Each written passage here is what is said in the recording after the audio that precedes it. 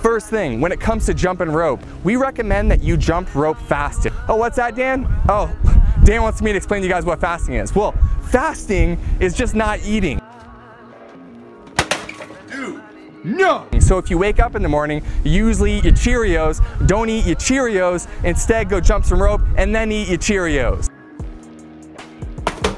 No! Now, before you get your panties up in a bunch, listen, we understand that that scares some people, but when you jump rope on a fasted stomach, you're no longer using glucose to fuel yourself while you work out, but instead you're fueling yourself with your body fat, which means you are losing body fat while you're exercising. It's the best thing ever.